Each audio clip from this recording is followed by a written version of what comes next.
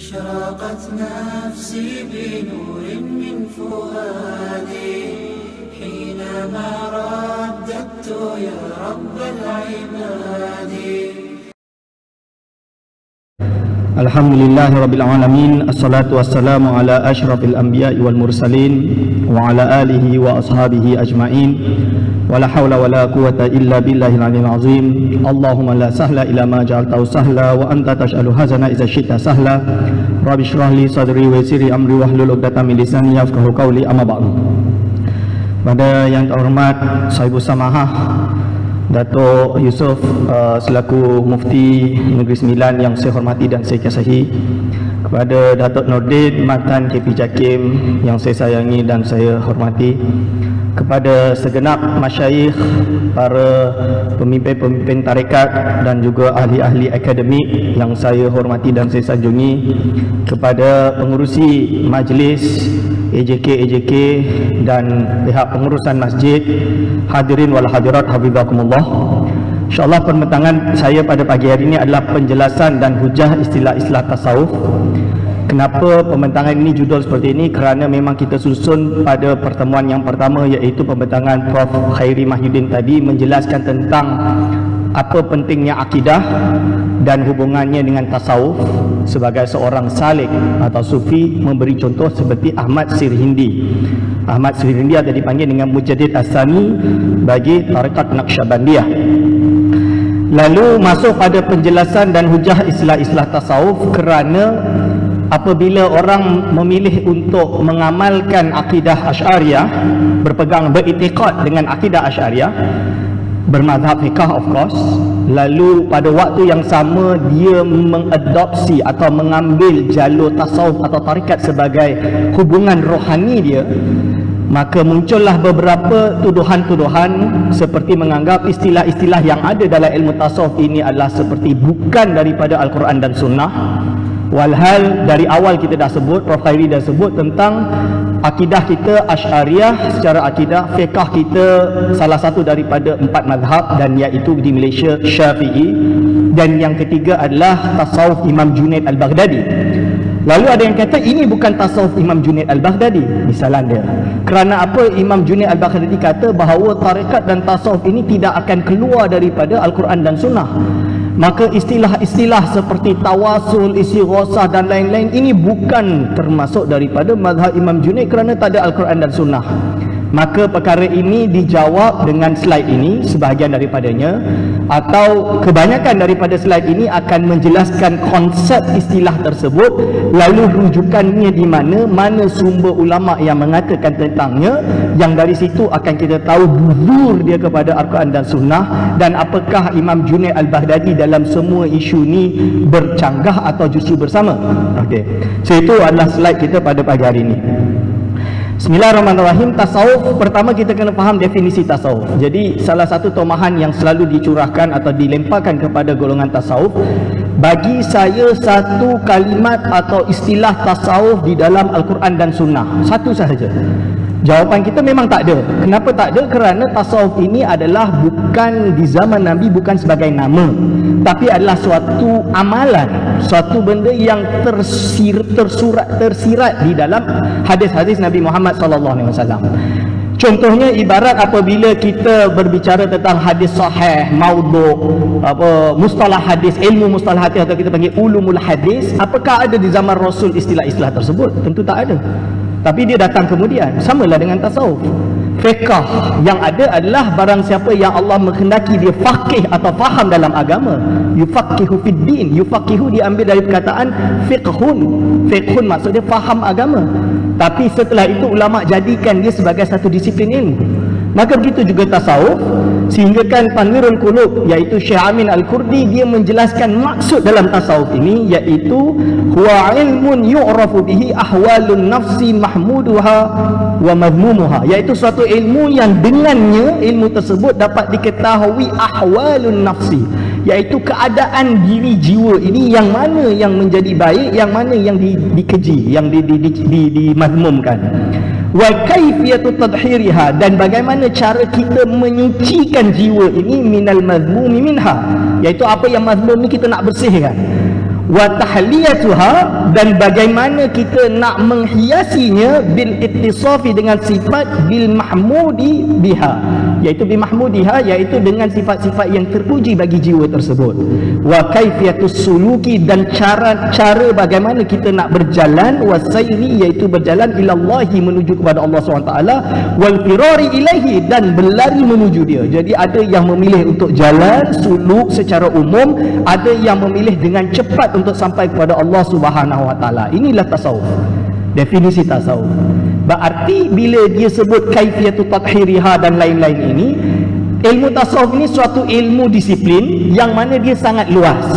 Di dalam dia ada amalan, di dalam dia ada natijah, di dalam dia ada uh, proses, ada permulaan, ada muqaddimah, ada khatimah dan lain-lain.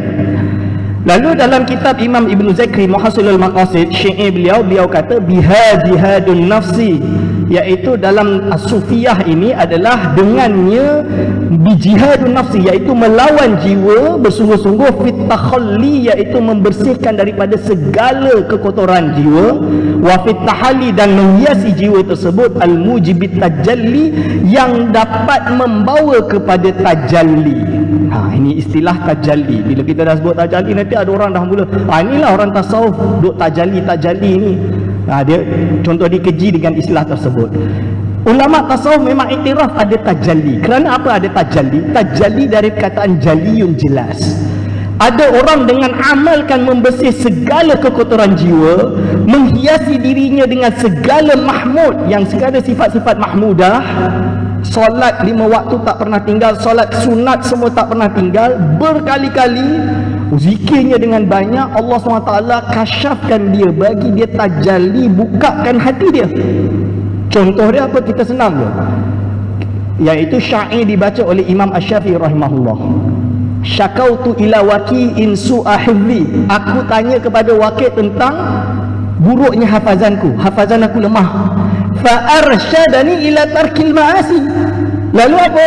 Dia mengajarkan aku untuk meninggalkan maksiat. Saya tanya tuan-tuan apa hubungannya meninggalkan maksiat dengan nak kuatkan hafazan?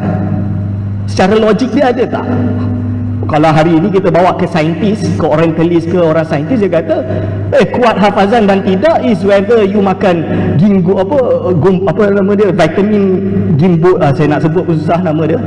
Ha, yang biloba-biloba tu misalnya dia. Lalu kenapa Imam Syafi'i justru mengatakan tarkil ma'asi? Kerana apa? Li'anna ilma nurun. Kerana ilmu itu adalah nur wa nurullah la yuhda lil asi. Nur Allah itu tidak dapat ditunjukkan diberikan kepada orang yang berbuat maksiat. Jadi nasihat wakil kepada Imam Syafi'i ini adalah nau' minat tajalli. Nah itu maksud dia. Jadi jangan kita ingat bila tajalli ini semua berkonotatif yang negatif.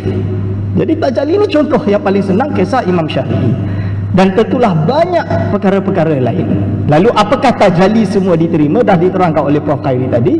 Kalau yukhaliful Quran wa sunnah tabaan kita tolak. Ha, kalau dia yang sesuai Al-Quran sunnah baru kita terima. Ha, ini. Lalu apa yang bercanggah apa yang tidak bercanggah nanti kita sambung. Lalu Muhasilul Maqasid menjelaskan lagi Tariqatul A'immatis Sufiyah Hasanatun Sahihatun Marwiyah Muhasilul Maqasid ni sebenarnya kitab Usuluddin Kitab ilmu kalam Dikarang oleh Ibnu Zakri Kawan kepada Imam Sanusi Jadi apabila orang tanya Ustaz saya nak akidah Imam Sanusi Tak nak akidah yang pelik-pelik ni Yang tasawuf-tasawuf ni saya tak nak Kita nak ilmu kalam Imam As-Sanusi rahimahullah juga bertarekah Nama tarekah dia tarekat Syadiliyah. Imam Ibn Zakri juga bertarekah. Tarekat dia adalah tarekat Syadiliyah. Dia kata dalam kitab ilmu kalam di penutup, walaupun kita dah tahu ilmu kalam, kita kena balance dengan tazkiyatun nafs. Dengan tarekat atau dengan tasawuf. Tariqah a'immati sufiyah. Tarekat para imam-imam tasawuf itu hasanatun yang baik. Sahihatun sahih. Marwiyah ada sanad dia. Sebab itu kita panggil sahabat dalam tarekah tak bolehlah jumpa dalam kitab hadis dan sahih Bukhari, sahih Muslim. Tapi ada di dalam kitab-kitab tasawuf kerana ini fan dia. Seperti halnya tuan-tuan nak belajar ilmu kiraat, takkan kita cari dalam sahih Bukhari, sanad silsilah kiraat, tak jumpa. Kita jumpa dekat mana? Kitab kiraat lah. Baru dia sebutkan sahabat dia. Okey. Berarti apa? Boleh kita anggap bahawa tasawuf ini fan ilmu. Macam apa? Macam akidah. Akidah ini fan ilmu. Ash'ariyah Maturidiyah adalah tariqah dalam ilmu madhab dalam ilmu akidah. Ash'ariyah Maturidiyah. Tasawuf adalah fan ilmu. Madhab dalam tasawuf dipanggil dengan tariqat Naqsyabandiyah tariqat Qadiriyah tariqat Syadiliyah tariqat Ba'alawiyah dan banyak-banyak lagi. Itu je sebenarnya. Okey Tanwirul Qulub lalu Imam Amin Al-Qurdi jadi Tan Amin Al-Qurdi ini adalah ulama besar di Al-Azhar Syarif. Kitab Tanwirul Qulub sampai hari ini diajarkan di Al-Azhar Syarif. Nah di Masjid Al-Azhar dan lain-lain. Bahkan Syekh Ali Jum'ah juga menggunakan kitab Tanwirul Qulub. Syekh uh, Almarhum Saman Kati Perak kita panggil salah seorang Syekhul Islam di Perak Syekh Saman Kati dia juga men, apa, merujuk kepada kitab Tanwirul Qulub dalam buku ilmu tasawuf beliau wa tariqatu hiya al-amalu bisyariah. Jadi tarikat itu beramal dengan syariat. Benda ni kita tak boleh tolak. Yang namanya tarikat dia mesti beramal dengan syariat. Berarti kalau yukhalifu syariah mardu dah. Wal akhdhu bi azaimiha. Dan mengambil perkara yang azimah azimah ni berarti apa? Berpegang sungguh dengan syariat. Itu tidak mencari yang mudah Berarti kalau ada orang tasawuf memilih untuk tak nak solat fardu, itu bukan tasawuf lah. Dia sebutlah dia pakai baju macam mana, tertolak lah. Ha, ini maksud dia. Lalu wal bu'du anit tasahuli menjauhkan diri daripada tasahul fima la yambaghi at-tasahulu fihi. Iaitu dia tak ambil mudah pada perkara yang tak boleh untuk bermudah-mudahan dengannya. Contoh dia apa? Contoh dia nak solat tunggu dah habis waktu baru nak solat. Nak pilih kodok solat. Itu tak betul lah. Ha, ini jauh tu. Wa in syi'ta qulta. Kalau kau nak kata katakanlah istinabul manhiyati menjauhi perkara yang dilarang zahiran wa batinan. Zahir benda yang zahir tak makan benda yang haram. Sebab itu kalau guru tarekah yang sebenar ditawarkan syekh nak pilih mana hotel 5 star atau nak duduk rumah sewa ke yang bagus? Supaya apa? Kalau syekh tarekat yang sebenar dia memilih untuk duduk rumah yang biasa daripada duduk hotel. Sebab apa? Duduk hotel 5 star ada jual khamar jadi Syed Abu Ya Syed Muhammad Ali Maliki ini yang saya memang tahu sendiri guru saya murid dia yang terlama dari tahun 1970-an uh, Kiai Taifur cerita Abu Ya kalau datang ditawarkan hotel 5 bintang dia tak nak. Dengan alasan apa? Dalam hotel 5 bintang tu ada jual khamar ini syubhat. Dia tak nak dia memilih duduk dalam rumah tapi bukan saya nak kata siapa syekh kata dia nak pergi hotel 5 bintang tu dia sesat. Tak adalah nak kata macam tu. Cuma ha, cuma ini nak contohkan ibarat gambaran bagaimana syekh sufi yang betul-betul mengamal tasawuf. Wajtima ijtinabul amam uh, wa imtisalul awamiri ilahiyati biqadri taqah. Dia mematuhi imtisal ini mematuhi segala perintah Allah. Okey dengan kemampuannya. Ialah ada syekh tarekat yang satu malam setiap malam tahajud 100 rakaat ada syekh tarekat yang cuma solat 2 rakaat. Ini inilah contoh bagaimana kita mematuhi perintah Allah SWT yang tak baik itu memang tak bangunlah sampai subuh. Ha, ini yang kurang baiklah. Tertinggal subuh ini yang tak betul lah. Ha, ini contoh dia Aihiya ijtinabul muharramati menjauhi perkara yang diharamkan wal makruhati dan perkara yang diharamkan yang dimakruhkan wa futulil mubahat. Kalau boleh benda yang mubah yang lebih-lebih pun dia tak nak. Dia berusaha untuk menjaga. Ha, ini. Wa adaul faraidi wa mastata'a minan nawafil iaitu melakukan benda yang fardu dan apa yang menjadi ketaatan dalam hal perkara yang sunat.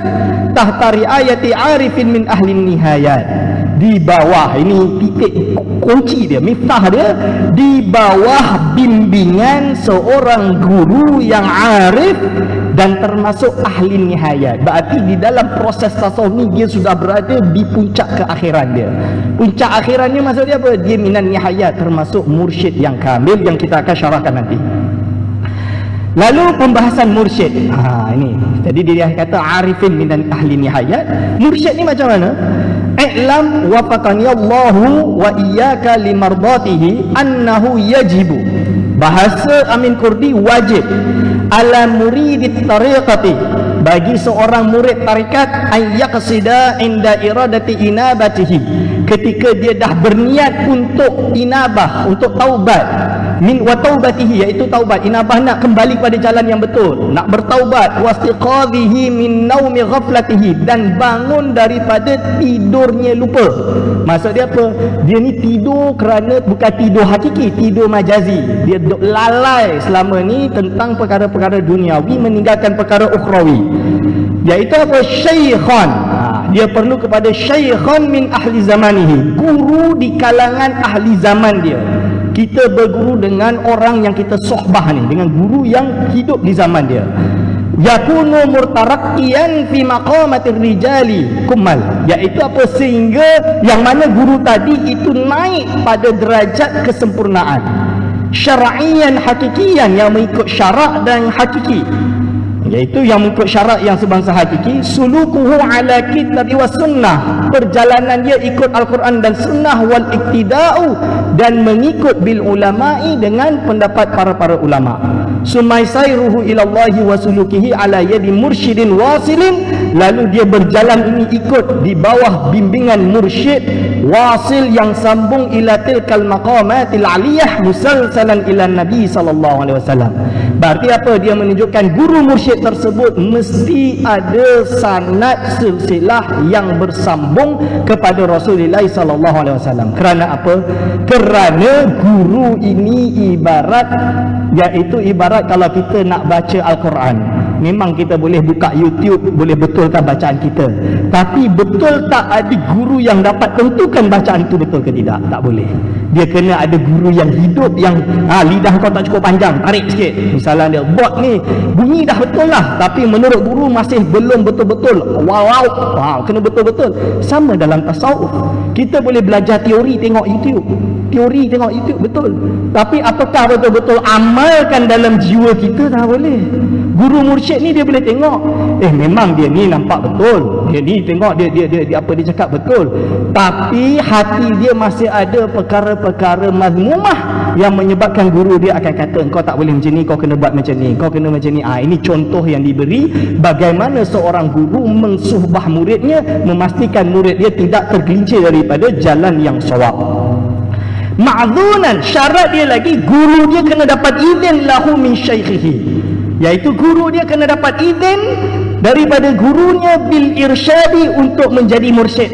Ha, sebab itu dalam tariqah penting untuk mengetahui. Dia macam macam inilah ijazah tarikat ni apa? Saya nak ambil bai'ah untuk ikut tarikat ni. Ijazah dia talqin saya ditalkinkan zikir baca la ilaha illallah 176 kali ni salam dia. Berarti itu adalah amalan yang guru saya tetapkan pada diri saya maka saya ikut yang tu lah. Ini izin diizinkan ada yang murid ni dah beramal sampai engkau jadi wakil aku khalifah di sini misalan dia. Ha, maka inilah yang diizinkan bagi saya menjadi khalifah di sini. Ada yang diizinkan menjadi apa? Menjadi mursyid. Ha, jadi il, bil irsyadi. Syarat untuk jadi guru mursyid yang mutlak dia kena dapat izin guru sebelum yang dah bagi dia authority. Ha, ini. Jadi kita tak boleh dalam ilmu tasawuf kita jadi apa? Kita dalam ilmu tasawuf kita uh, belajar tak pun tanpa ada guru tanpa ada izin saya nak jadi mursyid. Pergi ke guru ni tak dapat mursyid pergi guru ni tak dapat mursyid. Lepas tu kita declare diri kita sebagai mursyid. Boleh ke tak boleh? Tak boleh. Ha ini. Okey lalu apa? Wadalati ala allahi la an jahlin wala an hadli nafsin fasyaikhul ariful wasilu wasilatul muridi ila Allah kerana syekh yang arif inilah wasilah seorang murid untuk sampai kepada Allah wa babuhu alladhi yadkhulu minhu ala Allah faman la syaikha lahu yurshiduhu famurshiduhu syaitan Ulama dah kata ini bukan kalam Amin Kurdi sahaja. Bahkan Imam Ghazali dalam kitab Ihya menyebutkan yang sama. Iaitu barang siapa yang tidak ada guru baginya, maka yang akan menjadi guru dia nanti adalah syaitan itu sendiri. Jadi kalau ada orang memilih untuk baca sendiri, maka hati-hatilah akan menyebabkan kita terpesong. Sebab itu di Negeri Sembilan kita mendaftarkan tarekat dan mengajarkan kepada orang awam untuk kalau nak bertarekat kena cari guru tarekat yang telah berdaftar supaya dipastikan kelegitimasi guru tersebut sehingga kan dia tidak akan tergelincir ke kanan atau ke kiri ha ini Okey, uh, lalu silsilah tarekah ini dijelaskan oleh Syekh Abdul Halim Mahmud iaitu salah seorang rektor Universiti Al-Azhar. Sebab tu bila ada orang kata Al-Azhar tolak tarekat, mana ada Al-Azhar tolak tarekat? Iaitu Syekh Abdul Halim Mahmud iaitu almarhum Syekh Murtada bagi tahu saya bahawa Syekh Abdul Halim Mahmud ni guru dia yang dia pegang dengan kuat. Dan Syekh Abdul Halim Mahmud bertarekat dengan tarekat Syadiliyah. Apa kata beliau? Min syuruti tasawufi la budda fit tasawufi min syartin jauhariyin. Wajib dalam tasawuf ada syarat yang paling penting huwa at-takfir ruhi iaitu suatu suhbah yang boleh memberi kesan pada jiwa kita. Berarti guru ni dengan akhlaknya, dengan bimbingan dia, dia akan sentuh jiwa murid sehingga murid ini betul-betul dapat takut kepada Allah SWT. Ha, betul-betul merubah diri dia. Au bitakbiri adab al-barakah. Dengan istilah yang lebih dalam dipanggil dengan barakah. Barakah syekh. Barakah syekh ni bukan nak salam cium tangan sahaja. Itu barakah yang memang ada sabit dalam Al-Quran dan Sunnah akan tetapi barakah juga dimaksud sini adalah barakah seorang guru yang meredai muridnya. Sebab tu dalam kitab ta'lim ta'lim tak payah pergi jauh. Kita ta'lim ta'lim kita masuk pondok kitab pertama kita mengaji adalah ta'lim ta'lim ta'lim ta'lim kata apa? Yang paling penting seorang guru murid dengan guru ini dekat pondok-pondok ni adalah redha tok guru. Betul tak? Redha tok guru. Kerana apa? Kita ambil ilmu dari dia halal tak ilmu yang kita ambil ni sebab tu kalau mak bapak kita selalu sebut ustaz tolong halal halalkanlah ilmu anak saya ya. Ha, misalan dia. Kerana barakatul ilmi fi ridha syaikhihi. Ha, barakah ilmu itu berada pada ridha gurunya. Lalu dia sebut lagi, wahya la ta'atta illa bi wasitati syaikhin. Benda ni tak boleh didatangkan melainkan dengan wasitah guru. Wa min huna kanat at-turuq sebab itulah bila guru ini menjadi penentu wujudlah tarekat-tarekat. Ha, wa min huna kanat al-silsilah dari sinilah ada silsilah. Wa hal silsilah ila barakat itu qalu min syaikhin ila muridin ila akhirih lalu dia sebut apa? Ila anqal wa li ajli ayyasira al-insan agar supaya manusia ini boleh berjalan dalam jalan tasawuf. La budalahu min. Ada syarat dia. Yang pertama adalah intisab ila silsilatin sahihah. Adalah untuk berlandaskan pada silsilah yang sahihah. Boleh baca seterusnya. Waktu tak cukup Awarifil ma'arif Sekarang pembahasan bai'at Ada yang kata Ustaz Kenapa ada tarikat ni ada bai'at-bai'at ha, Jadi ada yang tak nak masuk tarikat Kerana dia ragak penggerik Orang masuk Islam syahadah dah cukup Ustaz. Tak perlu ada bai'at ha, Contoh dia Kenapa nak masuk tarikat ni? Kena ada bai'at Kerana apa? Imam Sahruwardi Dalam kitab Awarifil ma'arif irtibatun baina syaihi wal muridi wa tahkimun minal muridi li syaihi fi nafsihi li masalihi dinihi wa dunyahu yurshiduhu wa yahdihi au yuhdihi wa jadi apa baiat itu adalah suatu ikatan antara seorang guru dan murid. Dan untuk mentahkimkan dia mengukuhkan dia di antara murid pada syekh dia pada jiwa dia pada segala kebaikan urusan agama dia dan juga urusan dunia dia yang mana dengan tadi guru dia akan mengajarkan dia yurshiduhu akan memimpin dia dan meng, apa, memberi dia hidayah dan memperlihatkan kepada dia segala penyakit-penyakit jiwa dan kerusakan-kerusakan amalan. Ha, amal maksudnya amal hidup dia ini yang dirosak ni.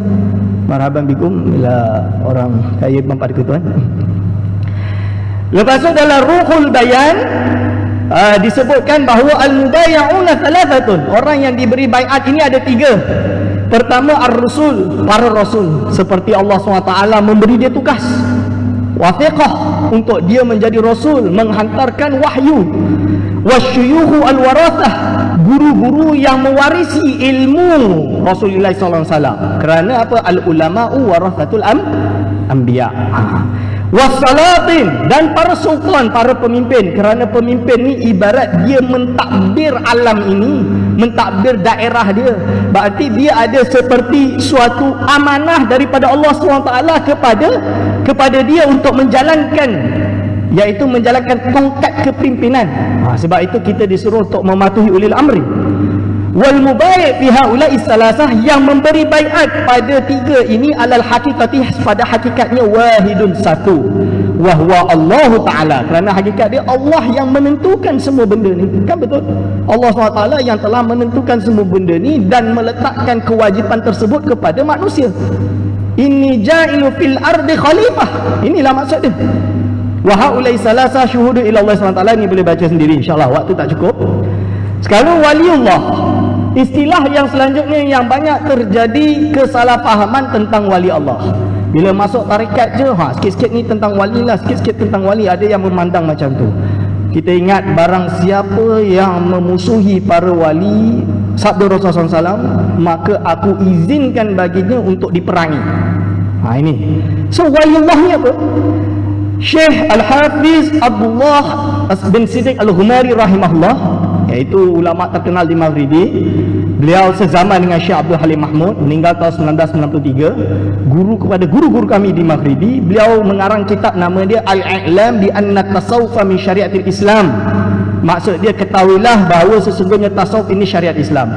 Tujuan beliau karang kitab ini untuk menjawab ada di golongan di zaman dia mengatakan bahawa tarikat-tarikat ini adalah sebenarnya usul dia datang daripada Buddha atau Hinduism. Contoh dia Rabitah, contoh dia istilah martabat tujuh dan lain-lain ini dianggap datang daripada Buddha, Buddhism dan lain-lain. Dah dijawab oleh beliau dalam kitab ini. Bukan beliau bersendirian tapi banyak ulama lain. Kalau di Indonesia nama dia uh, Mbah Bol, uh, Kiai Abu Fadl Asnori. Dia jawab dalam kitab dia Al-Kawakib Al-Lama'ah. Insya-Allah bulan uh, 8 hari bulan Oktober kita ada irsyad fatwa tentang kitab tersebut dinilai insya-Allah dengan Jabatan Mufti Negeri Sembilan. Apa beliau kata? Yaitu qala as-Sa'd fi syarhil aqaid nasafiyah.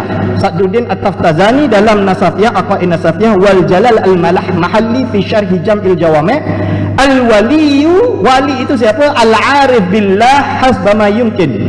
Al-muwadhib orang yang muwadhabah ala ta'ali sentiasa untuk melakukan taat al-mujtanibu lil ma'asi yang sentiasa menjauhi ma maksiat. Berarti wali Allah yang sebenar dia akan menjauhi segala perkara-perkara maksiat. Ha ini. Dan dia akan sentiasa untuk berusaha diri dia mendekatkan diri kepada Allah SWT. Al-mu'ridu anil inhimaki fil ladzati wasyahwat. Dia berusaha untuk memalingkan diri dia dari segala jenis kenikmatan, kelazatan dan syahwat-syahwat duniawiyah. Ini tanda wa, tanda wali. Wa qila al-waliyu man yuhibbu akhahu al-mu'min. Wali itu sepatutnya di, dikatakan dia adalah seorang yang mencinta saudaranya yang mukmin wala yuhibbuhu illa lillah. Dia mencintai tersebut tidak lain adalah kerana Allah Subhanahu wa taala. Ila ghairi zalika. Hadhihi rutabun fil wilayah. Inilah martabat-martabat dalam wilayah istalaha alaiha asufiyah yang mana ulama sufi sendiri mengistilahkan berarti ulama sufi memang ada mengistilahkan para wali-wali ini dengan beberapa derajat. Jadi ada orang mengatakan ah, inilah masalah tarekat ni. Dia kata wali kita percaya ada wali tapi kenapa ada kutubul aqtab kenapa ada wali autad? Kenapa ada wali apa uh, nujaba dan lain-lain? Mana ada dalam hadis. Jadi akhirnya beliau kata wahya ma'khudhatun an salafil ummat benda ini sebenarnya diambil daripada salafil ummat wa a'immatiha dan para imamnya. Fa'an abi tufail wa huwa sahabiyun an ali alaihi salam. Qal al abdal bisyam contohnya Sayyidina Ali berkata abdal ada di Syam wan nujaba bil Kufah. Dan nujaba ada di Kufah rawahu Ibnu Asakir fi tarikh Dimash berarti istilah wali abdal wali nujaba wali kutub dan lain-lain dah memang ada di zaman salaf bahkan kembali kepada Rasulullah sallallahu alaihi wasallam seperti apa yang dibawa oleh para sahabat. Tuan-tuan boleh buka dalam kitab al-ilam ini atau Imam As-Suyuti karang kitab khusus Al-Khabaruddal mengkhabarkan atau khabar tentang menunjukkan adanya wali-wali yang abdal nujaba wal aqtab wa ghairi dalik okey lalu lalu masalah karamah Ha, inilah dalam tarikat ni bincang tentang karamah je kerja dia. So kita kena faham. Karamah ini thabitah. Saya ambil kaul Imam Syekhul Islam Ibn Taymiyah rahimahullah sendiri. Al-Aqidah Al-Wasitiyah. Beliau berkata, "Wa min usulil ahli sunnah at-tasdiqu bil karamatil awliya." Termasuk inti dari ahli sunnah wal jamaah adalah membenarkan karamat wali.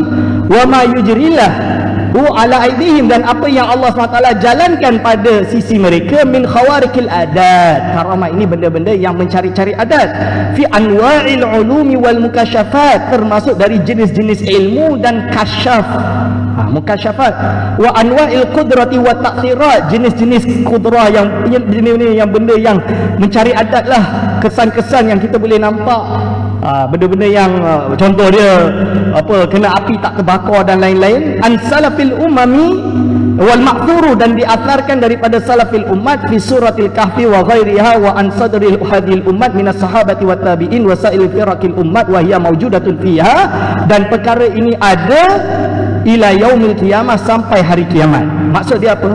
Berarti karamah itu tidak terputus sampailah hari ki kiamat. Oleh sebab itu hadis yang sahih Sayyidina Umar bin Khattab ada di Madinah Sariyah yang sedang berperang di tempat lain zaman tu tak ada Skype beliau boleh nampak dan berkata Sariyah Al-Jabal Al-Jabal ya Sariyah Ha, gunung tu musuh datang daripada gunung. Ini contoh atau bentuk daripada karo karomah. Kalau keluar karomah, maka benda tersebut kita anggap termasuk khawarikul adah yang Allah berikan kemuliaan kepada para para wali. Ha, ini.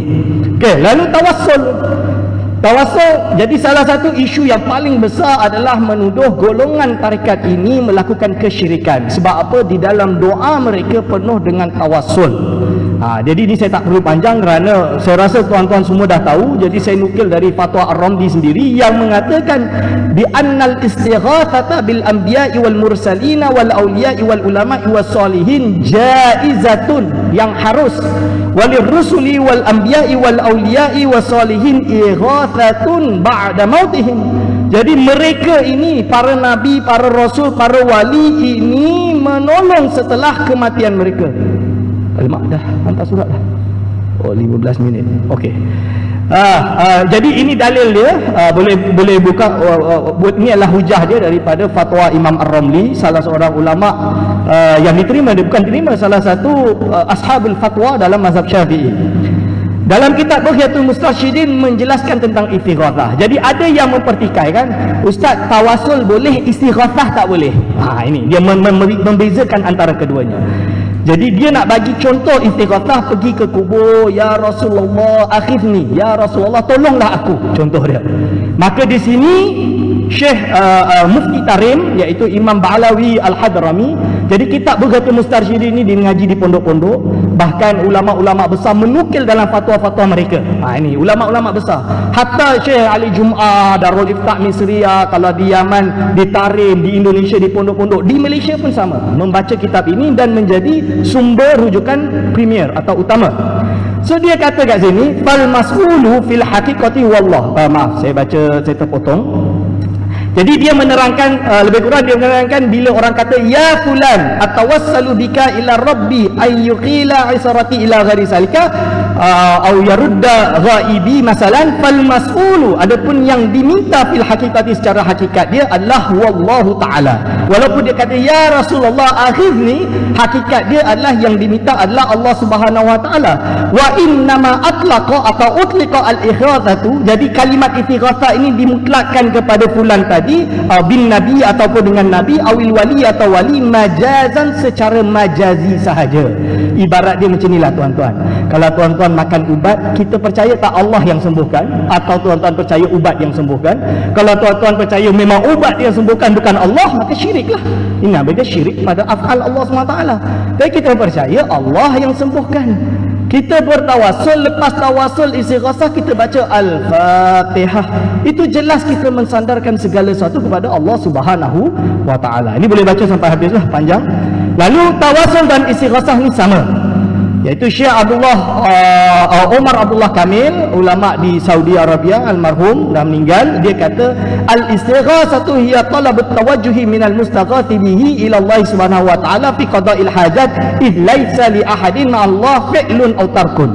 Ha ini dia kata. Jadi sama je. Istighasah kerana dia adalah minta ya pada melalui tapi kita percaya tidak ada seorang pun yang dapat melakukan atau meninggalkan sesuatu melainkan Allah Subhanahu wa taala ila akhirih Lalu masalah Rabitah. Ha, jadi ada isu lagi sekali masalah Rabitah dalam tarekat Naqsyabandiyah. Bukan satu, semua tarekat Naqsyabandiyah mengamalkan Rabitah. Rabitah itu apa? Dalam Tanur Qulub dia mendefinisikan Rabitatul Mursyid wa ya muqab, muqabalatul qalbil muridi bi qalbi syaikhihi, iaitu menghadapkan hati murid pada hati gurunya. Wa hifzu suratihi dan menggambarkan merakamkan gambaran guru dia fil khayali di dalam fikiran dia walau fi ghaibatihi walaupun tidak ada guru dia wa mulahadati wa mulahadatu anna qalb syaihi dan mulahadha membayangkan bahawa hati guru dia kal mizabi yanzilul faid min bahrihi al muhit ila qalbil murid al murabit iaitu seperti suatu perkara yang ibarat dia cahaya yang turun kepada di, murid hati murid tersebut yang terikat dengan guru dia kerana kecintaan pada guru dia tadi. Wastimdadul barakah untuk dia sampaikan barakah tersebut minhu li'annahul wasilah kerana rabitah itu adalah wasilah ila tawassuli untuk sampai kepada Allah SWT wala yakhfa ma fi dhalika minal ayati wal ahadis. Dan tidak diragukan lagi bahawa dalil-dalil Al-Quran dan juga hadis akan disebutkan. Ha, dia sebut dalam kitab tersebutlah boleh kita rujuk. Dan rabitah ini tidak bersendirian dalam tarikat Naqsyabandiyah sebenarnya. Kalau kita haramkan rabitah kita akan mengharamkan tarikat-tarikat yang mengamalkan rabitah yang lain. Misalan dia tarikat Ba'alawiyah Ba'alawiyah ini adalah Syekh Abdullah Al-Haddad. Dia ada satu kitab. Dia memang jelaskan dan syarahkan maksud rabitah. Imam Ash-Sha'rani daripada tarikat Syadiliyah guru besar di Al-Azhar Syarif juga mensyarahkan makna rabitah dan mengamalkan rabitah. Abdul Salat Abdul Samad Al-Falibani dalam kitab Syiarus Salikin beliau bertarikat Samaniyah juga mengamalkan rabitah bahkan salah seorang ulama besar daripada negara India meninggal di Madinah yang bernama Syekh Zakaria Al-Kandahlawi muhaddis fi hadzal asr. Dia kata dalam kitab Talazum Syariah tasawwur syekhi wa yuqalu lahu aidan syughlur rabita wal barza ila akhirih kada fi ta'limid din wa huwa inna masyaikh suluk min al ashghal al hamati jiddan termasuk benda yang sangat penting. Wa qad dzakara al masyaikh lahu fawaid kathirah. Jadi ada ulama dah sebutkan banyak faedahnya. Wa qala ba'dul akabir anhu annahu la yajuzu mutlaqan. Setengah di kalangan ulama pula mengatakan ini tak boleh secara mutlak. Wa hadha inda hadzal abdi. Dan perkara ini menurut saya seorang hamba yang lemah ini ghairu sahihin itu tak sahih. Li anna tasawwur syaihi yustafadu min ahaditha kathirah. Kerana menggambarkan gambar guru dapat diistifadahkan dengan banyak hadis-hadis yang sangat banyak. Lidzalika falladina la yujawizunahu ila akhirih iaitu la adri anhum wa lam afham. Aku tak tak tahu tentang dia dan aku tak faham kenapa dia boleh tolak. Ila akhirih boleh baca dalam kitab Syekh Zakaria Al-Kandahlawi Lalu ada yang kata ustaz ini buat bid'ah sebab baca hizib dan aurat yang mana hizib aurat seperti dalam tarikat syadiliyah paling banyak dipanggil hizib barri, hizib bahri dan lain-lain. Padahal ini disebutkan oleh Imam An-Nawawi dalam kitab Azkar tentang yang bagi liman kana lahu wadhifatun min adzikri fi waqtin min al-lailin aw naharin aw aqidah salatin ila akhirih. Dia yang bagi apa? Ya bagi fa fatatahu ay yatadarakaha. Kalau dia tertinggal zikir-zikir yang dia lepas ni untuk dia sambung buat balik. Wa ya'ti biha idza tamakkana minha. Ha, dia kena cubalah untuk untuk selagi dia mampu dia kena fulfillkan apa yang menjadi muadzabah. Ini adalah tanda bahawa memang ulama dulu ada hizib tertentu sehingga Imam Nawawi sendiri ada hizib dipanggil hizib na Nawawi. Jadi kalau kita bid'ahkan hizib nasar dan lain-lain salawat-salawat dalam khairat dan lain-lain berarti kita sama telah melarang Imam Nawawi untuk mengumpulkan wazifah dia sendiri. Lalu zikir isim mufrad tak ingat dah berapa minit. Serta zikir isim mufrad iaitu tentang zikir Allah Allah Allah. Ini disebut oleh Imam Junaid sendiri seperti dinukilkan dalam kitab Masu'ah Yusufiyah zakiru hadal ismi Allah Allah Allah isim mufrad. Zahibun an nafsihi muttasilun bi rabbih akan memisahkan pada diri dia sehingga kan dia muttasil dengan Allah qaimun bi adai haqqihi sehingga dia mendirikan menunaikan segala yang menjadi wajib nadirun ilaihi bi qalbihi dan dia melihat pada Allah SWT dengan hatinya qad ahrakat anwar syuhud sehingga kan cahaya-cahaya syuhud ini akan membakar sifat basyariyatihi segala sifat-sifat basyariah Imam Junaid dia ada Rasail Imam Junaid. Beli kitab tersebut dalam bahasa Arab lah ada terjemahan bahasa Inggeris bahasa Melayu saya tak tahu ada ke tak. Prof. Nakib Alatas dia ada betulkan beberapa terjemahan dalam bahasa Inggeris. Imam Junaid sendiri menerima konsep Al-Fana. Ha, konsep Al-Fana contoh dia benda ni. Jadi dengan zikir ini kita boleh you know, boleh ila darajatil fana jadi mukadimah tadi dah akidah saya tentang istilah tarekat nanti ditutup tentang pembahasan metafisik dan perkara tinggi oleh Baba Abdul Rashid insyaAllah Okay, lalu zikir hu hu hu. Jadi ada orang bila tak pernah dengar tarekat dia tengah orang masuk je orang zikir tarekat dengar hu hu hu. Oh ni pelik ni. Ini ada yang tuduh ini datang daripada Buddha. Apa dia panggil apa? Apa hum hum hum. Ah ni zikir hum hum dalam Buddha dan lain-lain. Saya kata ya Allah, Islam sebelum mengenal Buddha dah mengenal zikir hu. Contoh dia apa? Syed apa Syekh Ahmad Al-Ghazali. Ahmad bin Muhammad Al-Ghazali meninggal tahun 520. Ha, iaitu adik kepada Imam Al-Ghazali rahimahullah. Jadi dalam kitab At-Tajrid fi Kalimati Tauhid Ahmad bin Muhammad Al-Ghazali dia kata kashiful qulubi yaqulu la ilaha illallah. Pembuka hati itu la ilaha illallah. Kashiful arwahi yaqulu Allah Allah Allah. Pembuka roh ini adalah Allah Allah. Kashiful asrar, pembuka rahsia adalah yaqulu hu hu hu. Tapi of course kita tak boleh. Oh zikir hu hu je tak boleh. Dia kena ada tartib dia. Sebab itu kena masuk tarekah. Guru mursyid ni akan beri bimbingan. Pertama nak zikir kena la ilaha illallah dulu. Bila dah habis baru Allah Allah Allah, baru di akhirnya hu hu hu. Ini ada dalam tarekat Naqsyabandiyah. Semua cawangan menyebutkan dengan nama Khatmul Khawajakan. Dalam Khatam Khawajakan memang ada susunan zikir ini. Kita boleh buka dalam kitab Tanurul Qulub tak payah jauh-jauh. Ha, ini adalah sumber dia dari Ahmad Al-Ghazali disebut oleh tarekat Ba'alawiyah seperti Syekh Abdullah Al-Aidarus. Ha, kitab ni yang saya mengaji kat pondok lah Idahu Asrari Ulum Qarabin ha, lalu juga disebut uh, ada, saya tak tulis kat sini nama kitab dia uh, Al-Manhalus Safi karangan Syekh Wan Daud Al-Fatani. Ha, boleh buka dalam kitab tersebut dia pun menyebut tentang zikir hu ini. Ha, lalu kita boleh maksud hu itu apa? Dalam Hasya As-Saban syarah kepada Ashmuni mengatakan bila sebut hu juga boleh menjadi ismun min asma'illahi subhanahu wa ta'ala. Lalu hadrah. Ha, jadi ada istilah salah satu yang menjadi terutama di masjid ni lah. Ada saya dikhabarkan uh, bahawa masjid ini pernah di kononnya dituduh bahawa buat ajaran sesat sebab ada hadrah ha, dalam zikir ni. Kita kena faham bahawa hadrah ini adalah salah satu bentuk amalan tarikat-tarikat sufi. Bukan satu tarikat tapi semua tarikat. Yang mana hadrah ini merupakan amalan ulama-ulama besar. Iaitu tentang kalau bahasa Melayu yang tak sedap sikit kita sebut zikir menari itulah. Ha, zikir menari. Ha, itu bahasa Arab yang betul. Dia adalah dipanggil dengan hadarah jadi jangan kita dengar menari ini menari kat disco tu. Ha, itu tak betul lah. Tapi ada adab dia tertentu ada hujah dia di mana? Imam Ibn Hajar Haytami dia sebut tentang Roksi Sufiyah. Roksi Sufiyah ni adalah iaitu hadrah tadi. Fa'ajaba biqaulihi na'am lahu aslun. Betul ada asal baginya. Ila angkol di bawah tersebut warraqsu fil waqad sahha al-qiyamu. Benar-benar sahihlah berdiri dan hadrah raqsu zikir nari tadi fi majalis dzikri dalam majlis-majlis zikir wasama'i dan sama an jama'atin daripada golongan min kibaril a'immah daripada pemimpin-pemimpin imam-imam yang besar. Minhum termasuk dari mereka Allah Izzuddin Syekhul Islam Ibn Abdissalam Sultanul Ulama Izzuddin bin Abdissalam ha, ini contoh dia.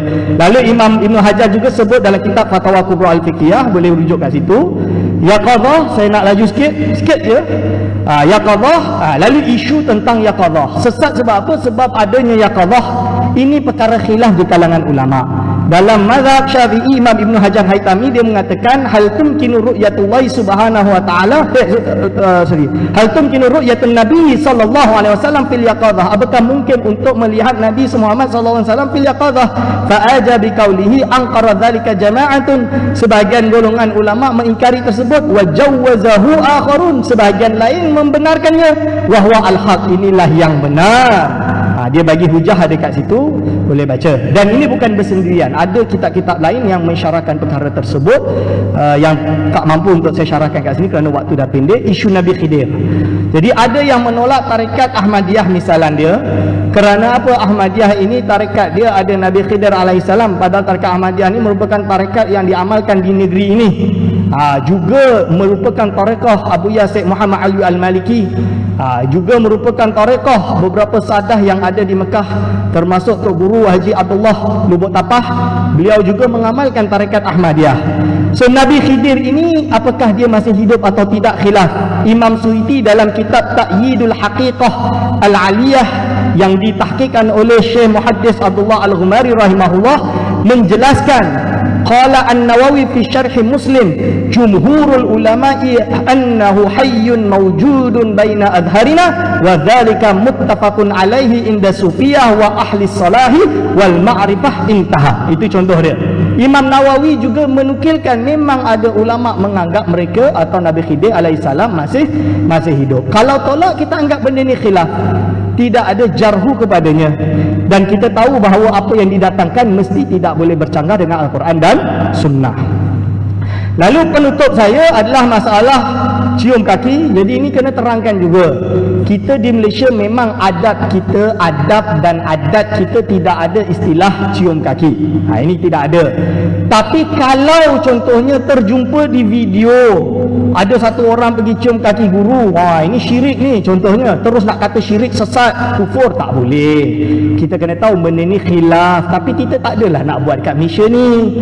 Ha, tapi kalau pergi kat negara India, Sri Lanka nak buat macam mana budaya mereka macam tu. Seorang anak memang cium kaki ibunya kerana al-jannatu tahta aqdami ummahat.